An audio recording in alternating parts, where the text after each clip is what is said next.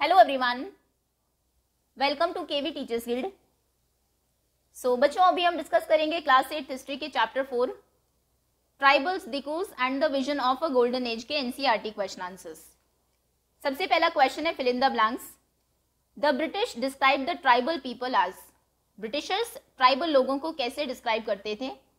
वो उन्हें कहते थे वाइल्ड एंड सैवेज जंगली और खूंखार लोग. Second is the method of sowing seeds in jhum cultivation is known as jhum cultivation में बीज बोने के तरीके को क्या कहा जाता था?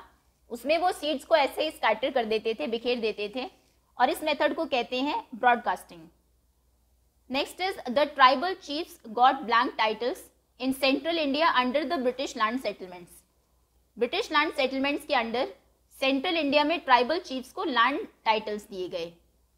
Next is tribals went to work in the tea plantation of Assam tribals काम की तलाश में आसाम के टी प्लांटेशन वहाँ चाय के बागानों में और बिहार की कोल माइंस कोयले की खदानों में गए। Second question is state whether true और फॉल्स कुछ स्टेटमेंट्स आपको दिए, आपको बताना है, वो सही है या गलत है। Jhum cultivators plough the land jhum cultivators land को प्लॉ करते थे। पहले उसके ऊपर हल चलाते थे, फिर बीज बोते थे। फॉल्स स्टेटमेंट है। वो सिर्फ़ बीज को स्कैटर कर देते थे।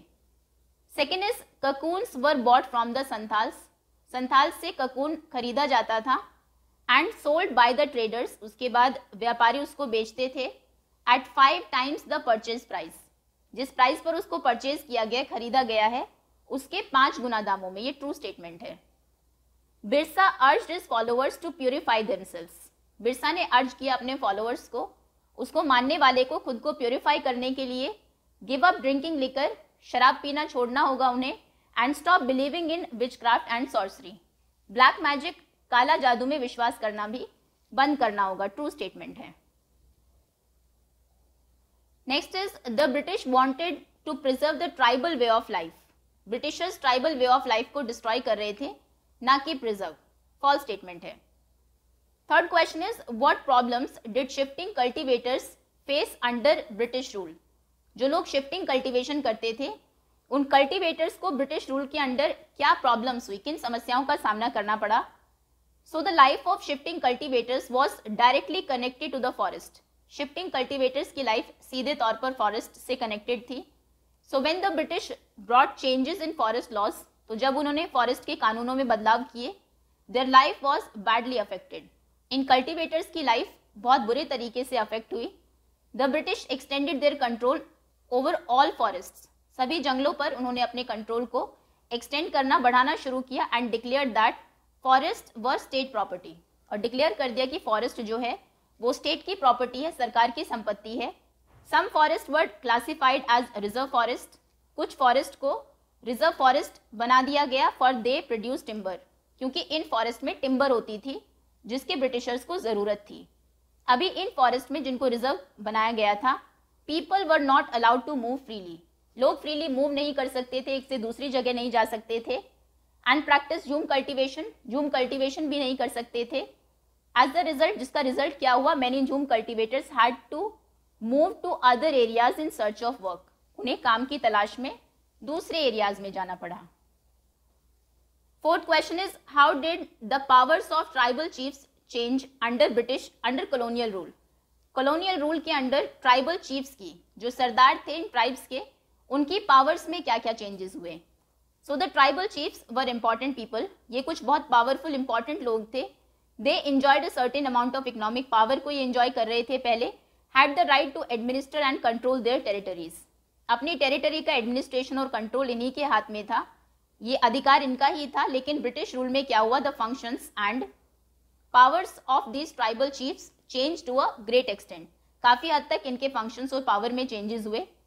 सबसे पहले तो they were allowed to keep their land titles over a cluster of villages and rent out lands ये लैंड को रेंट आउट कर सकते थे।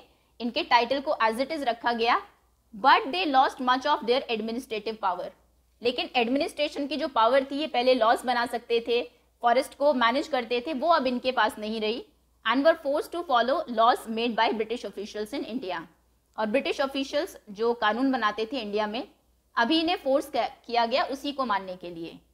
Second is they had to pay tribute to the British Britishers को इन्हें पैसे देने होते थे गिफ्ट देने होते थे।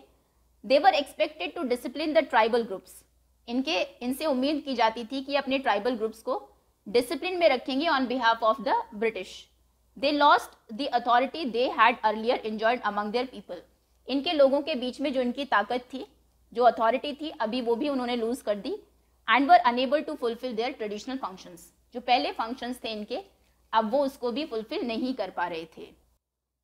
Fifth question is what accounts for the anger of the tribals against the dikus tribals के दिकूज के अगेंस्ट एंग्री होने के क्या कारण थे?